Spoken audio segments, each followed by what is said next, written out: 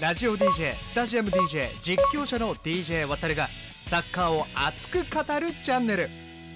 DJ 渡るサッカー伝道師チャンネル。はい、DJ 渡るです。今回の動画は WE リーグフットボール。WE リーグ第18節振り返り。さあ、もう次節で初代女王が決まる可能性があります。そういうことを考えると、今回のこの第18節はかなり重要だったんじゃないかなというふうに思います。というわけで、今回もベスト11、MVP、そして美女注目選手などなど内容盛りだくさんでお届けしていきますので、最後までご覧いただき、そしてよろしければチャンネル登録、コメント、高評価の方お願いいたします。それでは、WE リーグフットボール WE リーグ第18節振り返り、レッツゴーレゾート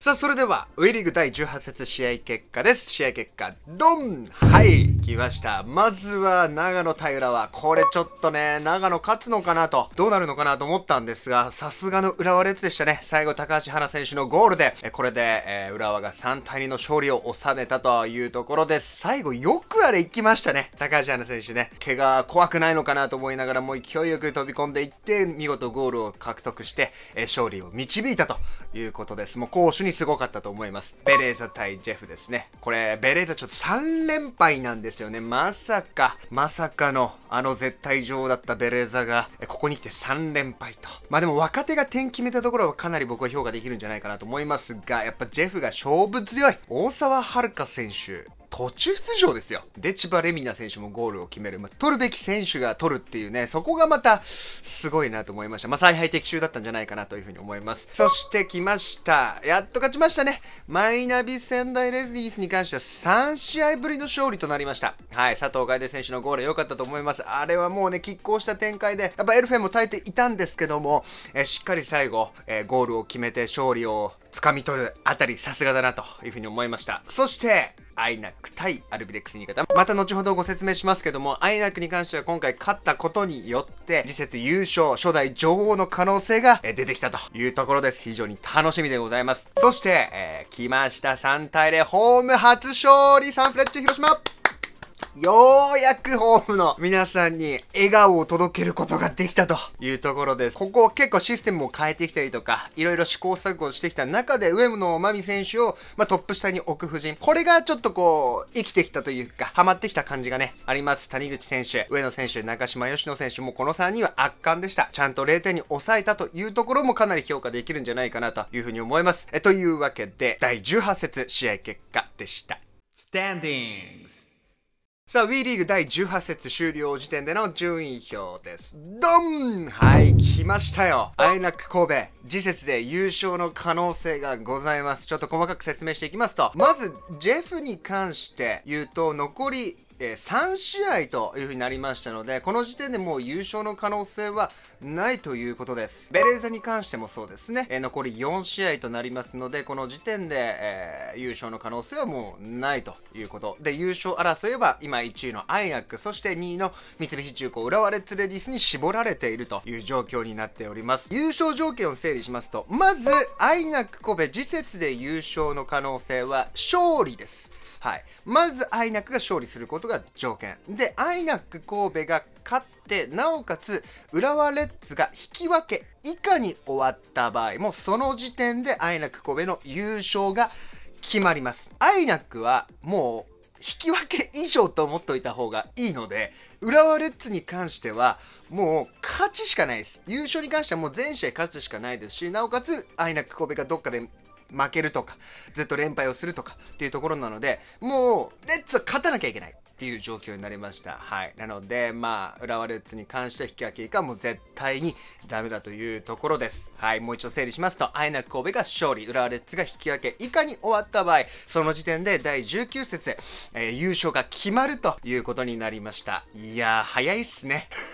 こんなに早くあっさり女王が決まっちゃうのかなと、初代ね。本当に歴史的なファーストシーズンになったんじゃないかなというふうにね、えー、思います、この時点で。マイナビがね、ちょっと今元気なく、やっとようやく3試合ぶりの勝利というところで、まあ本来ならここにいるチームじゃないんですけどね、どっかで歯車が狂ってしまったのかというところですか。で、大宮、で、アルビレックス、サンフレッチェ、サンフレッチェホーム初勝利ですよ。もうだってここにいる順位にいることがおかしいですから、広島に関してはね。で、長野と来て、チフレ、野島。まあ、チフレに関しては1試合、2試合か多いので、まあ、この辺の順位がちょっとひっくり返ったりする可能性がありますけども、チフレに関してはどんどんどんどん勝ち点を積み上げることが重要になってくるというところです。まあ、まだまだこう、3位以下、2位以下の争いか、2位以下の争いに関してはまだまだ分かりませんので、その辺また、え注目なところかなというふうに思います。というわけで、ウェイリーグ順位表を紹介いたしました。ゴーランキング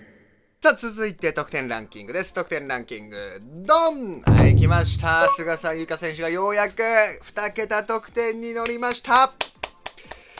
まあ、もう、でもほぼほぼ決定かなというふうに思います。まあ、白木あかり選手が爆発してくるのかどうなのかというところもありますけども、下からね、どんどんどんどん上がってくるんですよ。今、勢いのある千葉。特にまあ、大沢遥選手ね、今回2ゴールを決めましたけども、大沢遥選手に加えて、岸川選手も今5ゴール、そして千葉レミナ選手も5ゴール。千葉レミナ選手に関してはもう後半戦ぐらいぐんと来てますから、ちょっとこっから逆転、まあ5点差離れてますからね、まあ3試合なのでどうなのかなというところですが、菅沢優香選手を脅かす存在になるんじゃないかなというふうに思います。ま。あちょっと試合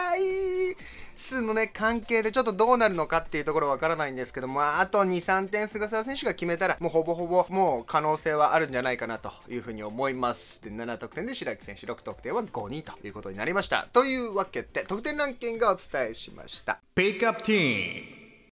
さあ、WE リーグ第18節ピックアップチームはサンフレッチェ広島レジーナです。いや、今節は圧巻でしたね。はい、3ゴールでホーム初勝利をつかみ取りました。相手は大宮アルディージャベントスです。まあ、谷口選手良かったですね。まあ、オフサイドにかかって何点かちょっと潰してしまったシーンもあるんですけども、しっかりとゴールも決めてましたし、前へのプレスも効いてました。で、裏を取る意識っていうのもあったので、相手のラインを結構下げられたのかなということになります。で、えー、4231。まあ、なんも433でずっとやってきたので、そんなにシステム的には変わらないと思うんですけども、4231にすることによって、よりサイドのケアができるようになったかなというふうに思います。完全にウィングになってしまうと結構3枚残るような感じになってたんですが、ちょっっとこう、下がりところ、ディフェンスの意識が上がることによって、サイドバックとワイドの、あの、間のスペースを埋められるようになったりとか、なかなかこう、サイドで崩されるっていうシーンは少なかったんじゃないかなというふうに思います。まあ、それができているのは、やっぱサイドのケアをしてるボランチ2人です。小川愛選手はもう圧巻ですし、柳瀬風な選手の存在感が半端ないです。松木さん風に言うと、マジであんた4人5人いるんじゃないかっていうぐらい、本当にね、前節ぐらいからプレーの質が変わってきて、守備への意識も高いですし、いや、何か変化あったのかなっていうところ、自分の中で意識的になんか変えてるとこあったのかなっていうところは、ものすごく聞きたい部分ではありますね。すっごいや前節から堂々としてるなというふうに思いました。で、やっぱ上野真美選手をここのトップ下の位置に置くっていうところが、現在の4231、まあ生きるところ、えー、まああれ、新しいオプションになってんじゃないかなと思います。守備の時は上野真美選手がちょっと上に上がって442で幅を取りながら守備をするんですよね。はい。まあそれがちょっとハマってきた、当たってきたんじゃないかなというふうに思います。まあ、金河選手もね、途中に出てきたりとか、まあ、この辺の若手とベテランの融合っていうのはできているので、えー、今後続けてほしいなというところでしょうか。というわけで、えー、WE リーグ第18節ピックアップチームはサンフレッチェ広島レジーナでした。WE リーグ第18節プレイヤーオブザウィーク AC 長野パルセイロレディー戦ミッドフィルダー中世滝沢。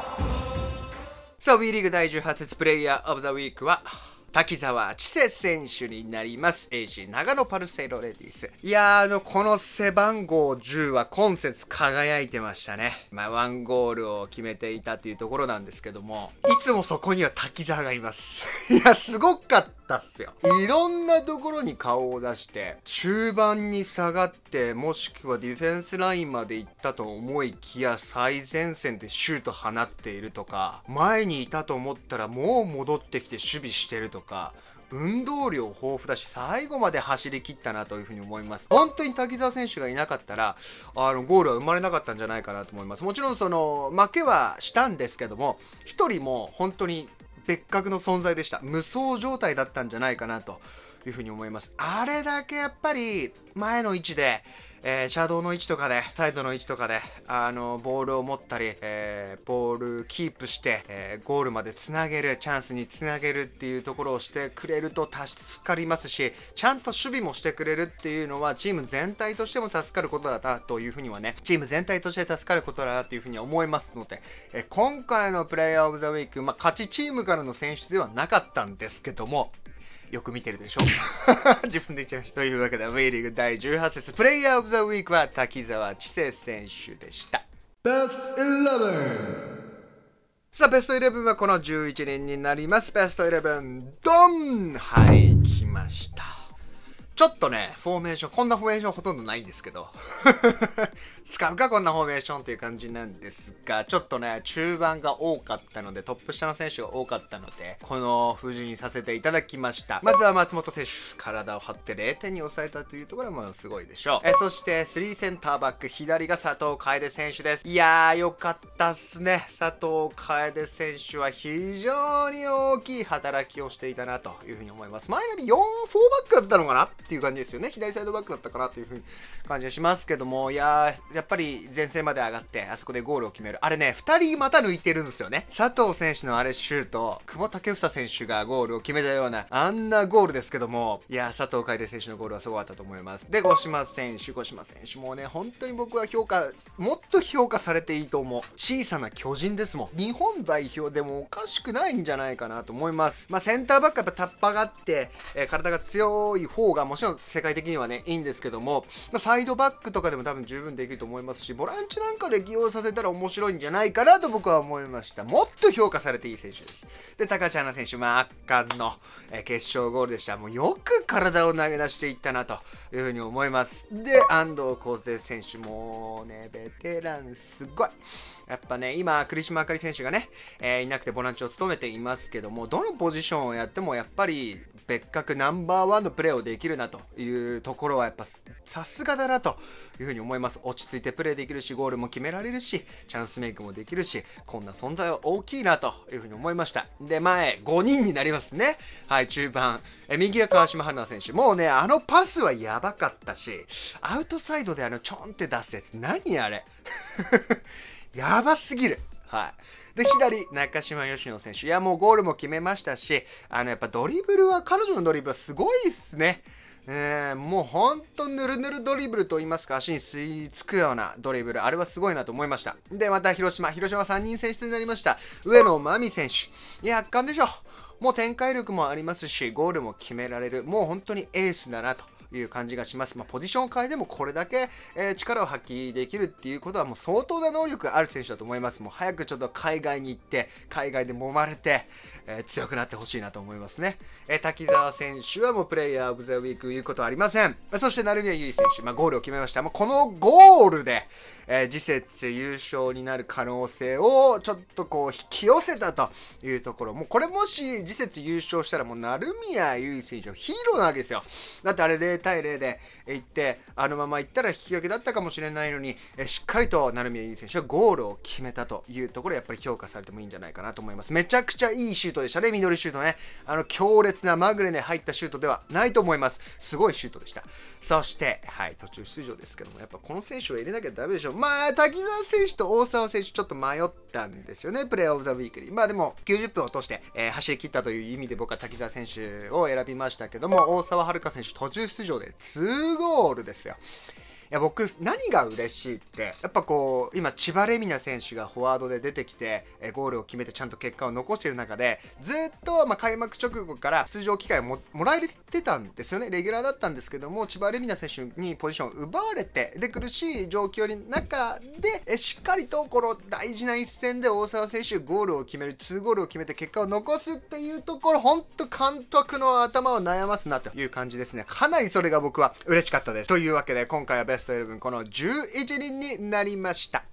DJ 渡るサッカー伝道師チャンネル。さあ美女注目選手はチフレ ASL フェン埼玉の湯村光選手です。いやあのくしゃっとなった僕は笑顔がね可愛くてすごいいつも写真の時に目をこう細くしていつも笑顔だなという印象ですね。ずっと笑ってるんじゃないかなと思います、はい、ただ試合中は真剣な表情になるんですよ。そのギャップがいいんですよねはい、そのギャップがすごいなと思います。もうしんもちろん試合中真剣なんですけども、でもなんかその分、そのサッカーを楽しんでるなっていう感じが僕はします。で、やっぱ日本代表候補にもね、選出されまして、いやー、ほんともういつ選ばれんですか、あなたはっていう感じでしたけども、え日本代表に選出されて、やっぱこうスピードのあるタイプの、まあ、サイドアタッカーという、まあ、ドリブラーですね。フォワードをやることは今のエルフェンでは多いですけども、まあ、そのフォワードの位置でドリブルもできるし、またね、足元がうまいんですよ。テクニックがめっちゃあって、リフティングがめっちゃうまいんですよね。はい。なので、まあそういう、ちょっと岩渕真奈選手にもしかしたら似てるタイプかもしれません。岩渕真奈選手はこう、足元でガンガンガンガン抜いていくタイプですけども、その足元の技術プラス、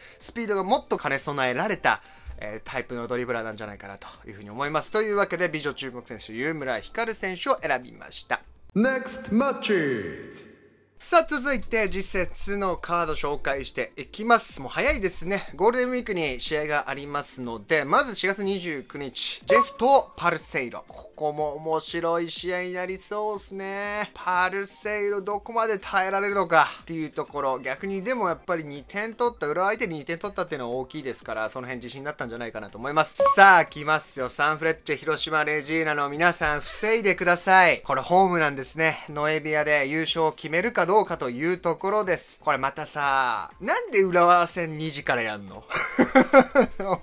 同時にやってくれよって思いますね。だからノエビアで勝ったとしても1時間ぐらい待たなきゃいけないっていうことですよね。ファンの皆さんは。なるほどね。浦和レッズもホームで行われるというところ。だからこれは浦和としては INAC の優勝を阻止するには勝ちしかないわけですからここはもう気合入ってるでしょ。ね、 INAC としてはもうサンフレッチェに勝てば優勝の可能性が出てくるというところ。まあこの2試合ちょっとね DAZN でね多画面2画面でやる見るんじゃないかなというふうに思います。続いて大宮と仙台になります。いやここもちょ意外にこれ大宮勝っちゃうんじゃないかな。意外と言ったら失礼かもしれないですけど実力的にねあれなんで仙台もちょっとわかんないですよ。ようやくね、えー3試合ぶりの勝利をしましたけどもナック5で行われますからもしかしたらこれ大宮が、えー勝利する可能性も十分に考えられます。えそしてエレフェント野島。これねかこれまた逆に面白いんじゃないですか。裏天王山と言いますか。やっぱりこれ野島としては勝利すれば順位がね暫定でも上がるわけですからここはねどちらも負けられない戦い。これが熊陸で、えー行われるというところなんです。さあどうなるんでしょうか。お休みは日テレ東京ベルディベレーザベレザが休んでいる間にアイナックの優勝が決まるのか、えー注目してください。次節は大注目です。というわけで次節カードを紹介いたしました。